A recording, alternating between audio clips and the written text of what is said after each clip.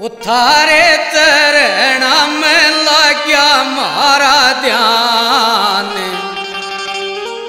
बांसुरी की धुन सुने के